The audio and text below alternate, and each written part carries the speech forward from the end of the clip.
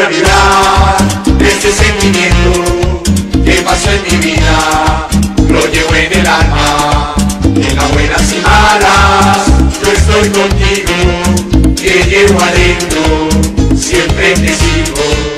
en los últimos días, se han conocido novedades en cuanto a renovaciones y llegadas de jugadores al América de Cali para la siguiente temporada. En cuanto a las renovaciones, según el petizo Arango, Tulio Gómez pretende renovar al volante español y a Agu Falque, teniendo en cuenta que su contrato vence en diciembre. Esto fue lo que dijo el periodista de Zona Libre de Humo. Sí. Ah, se me faltaba esa. Le pregunté por Iago Falque. Y me dijo, ese lo, a ese lo voy a renovar, es un jugadorazo. Me dijo así literal. Literal. Bueno.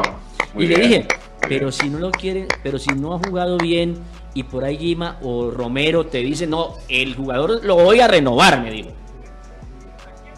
Una especie de Camargo, ¿no? Esto es una nota, esto Sí, es sí. una información muy importante, Sí, para lo va a renovar, Él que- lo quiere renovar trozo- y lo va a renovar. Me que es un suba los Por otra parte, en el tema de refuerzos, según rumores, América de Cali estaría en negociaciones con el arquero de Alianza Petrolera, José Luis Chunga, teniendo en cuenta que Joel Graterol y Diego Novoa aún no renuevan con el club.